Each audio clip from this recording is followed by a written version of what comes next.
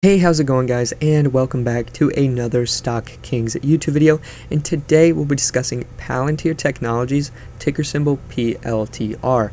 Now, we are going to be discussing their huge Catalyst event that they held yesterday, being their Demo Day event we're going to be going over this event and why I think people left that event a little bit disappointed in what they saw. So we'll be discussing that a little later in the video. We'll also be going into their new partnership that was very interesting that they released on the same day as their demo day event. We'll also be going in on that a little bit later in the video. And to end the video, we'll be discussing a little bit of technical analysis on Palantir to help you guys better manage your trades as well as ensure gains and reduce risk to help help you guys grow your trading accounts. So if you have any interest in Palantir, you are definitely going to want to stick around for that. But before we get into any of that information, if you guys enjoy this content, please drop a like on this video, subscribe to the channel, turn on post notifications so you know whenever we come out new videos, and I also have my new Discord link down below in the description if you want to check that out. And I also have my Webull link in the description as well, where if you sign up, Put in $100, we can both receive two free stocks valued up to $1,600, guys. So that is a good way for you to support the channel as well as get some free money for yourselves. So if you're interested in that, use my link down in the description below. But with that being said, let's get right into this video. Okay guys, we are here on the daily chart here on TradingView for Palantir, and I just kind of want to go over the recent price action that we saw from the last two days and the volatility that we got from this demo day event. So, what we saw leading up into the event is this massive bullish candle here. This is a daily candle, and we saw this run up pretty massively starting at around 23.21 ending at about 25.37. So this was where the event was priced in to the stock price and we talked about this a little bit yesterday and then this bearish candle is what we saw on the day of the event. And this bearish candle is what we expected on this channel. I discussed this yesterday that this price could run up for this event during this event and it could end up anywhere touching any of these resistance points either the 50 EMA this resistance that I have here at 26.72 and also the resistance at $30.06 however we ran up and just touched the 50 EMA coming up to our first key point of resistance and we rejected very sharp, sharply off of this. And where this sharp rejection is coming from is people were selling off the news. So they were locking in their gains right here at $26.25. And after that, they sold off massively. But on this channel, we expected this to happen because we know that the day before yesterday, this was the price where most of this was priced in for the event. This was all the bullish uh, momentum before the event.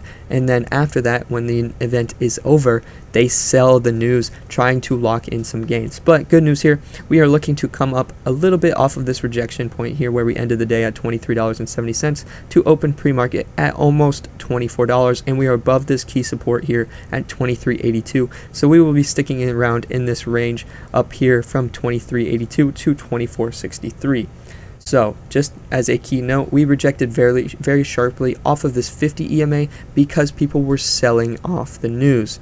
Now, also something I want to keep in mind as we progress in this video is this RSI indicator is right smack dab in the middle again on the daily chart. So we are not in any overbought or oversold territory, and this is something that we want to keep an eye on as price continues to move forward.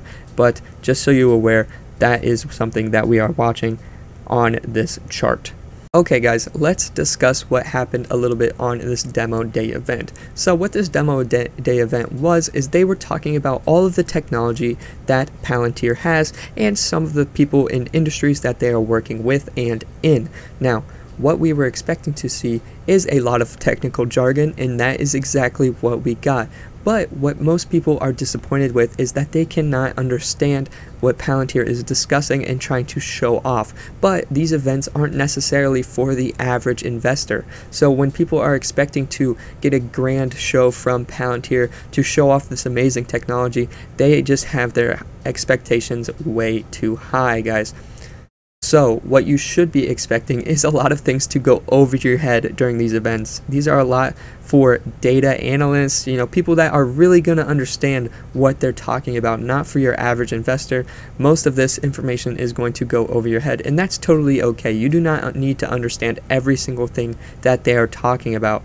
What you do need to understand though is that this technology that Palantir has is saving companies so much money. What we saw with BP is they were able to use the Foundry system for Palantir for about two weeks and they saved $50 million, guys. Now, during this event, I was hoping they would discuss this, how they were able to save them so much money. We did not exactly get that either. Again, we got a lot of technical jargon that you know a lot of us retail investors don't necessarily understand. But again that's okay they were able to show off some technology to hopefully a lot of people that did understand it and are bullish on this technology now. What we did get, and that we do understand, is we got some words from Palantir during this demo day event discussing some of the legal challenges that they've had with the data that they have received. For example, with the NHS, they have said some lawsuits over some of the information that they received from the NHS. So if we come over here, we can also see that this is a headline titled The NHS Issued Legal Challenge Over Contract with Palantir. The lawsuit claims that the NHS England failed to consider the impact of the deal on patients and the public according to Sky News. So what the NHS, NHS did is they gave a lot of uh, private health information to Palantir, which is a company outside of their country, and a lot of people had issue with this. So Palantir touches on this because they do not want more lawsuits like this in the future, as that is very bad for business. And they basically went over that they have tons of checks and balances before anyone can have access to information in the company. And that does not matter who you are in the company, you have to give the reason why you need that information, and that will go through a system of checks and give you the information based on need. If you actually do need the information, they will be giving it to you. But if they decide that you do not need access to certain information, you will not get access to that information. So that is very good news for Palantir, describing kind of the safety protocols that they have with information that they are given, and they are given a lot of, you know, you know, secret information, personal information, and a lot of data about people that they may not necessarily want them to have. So a lot of them, you know, are going through checks and balances and they are ensuring that this private information is not seen by you know people that do not need it. So that was good news for Palantir and I'm glad that they touched on that um, and that is good news for them moving forward. But let's also discuss in other news this uh, new partnership that they have with Clarifai. So if we come over here we can see uh, Clarifai is to deliver AI slash ML al algorithms on Palantir's data management platform for U.S. Army's ground station modernization. Uh, Clarifai is a leading AI lifecycle platform providing for managing unstructured image, video, and text data. Announced today that it has partnered with Palantir to deliver its artificial intelligence and machine learning algorithms on Palantir's data management platform. This effort is part of the first phase of the U.S. Army's ground station modernization in support of its tactical intelligence targeting access node program called Titan. Now, we have seen this before, and what we know is that this first phase got Palantir around $8.5 million, but as this progresses, they can earn up to $250 million. That is great for Palantir and is definitely a big revenue source moving forward if they continue to go through these phases. And I really like to see Palantir getting um, contracts that are not related to the pandemic. That is very, very good for Palantir because a lot of their naysayers think that most of their revenue only came from pandemic related uh, contracts. So I love whenever Palantir can get a contract that is outside of the pandemic related situation. But let's get back uh, to this chart here and we can touch on a little bit more technical analysis on Palantir. And if you are wondering where these key and support resistances were drawn or why they were drawn there, you can check out my last Palantir video and I go all over all of these key support and resistance lines and why they are there. But again, what we discussed earlier is we got sharp rejection off the 50 EMA came down, broke through all of these support lines that we had, and now we are coming back up in the pre-market to uh, be 23.99. But let's take a closer look on the 30 minute.